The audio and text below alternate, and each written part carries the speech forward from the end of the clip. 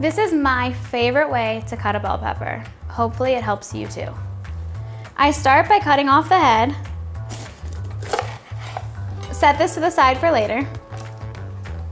You're gonna take one little side off, but not too deep to where you're hitting the veins.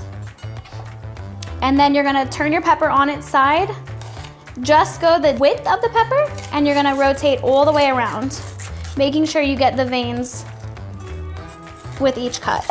So when you're done, you should have a full strip of pepper, which will be perfect for a fajita cut. Cut off the butt so you don't waste it and trash the rest.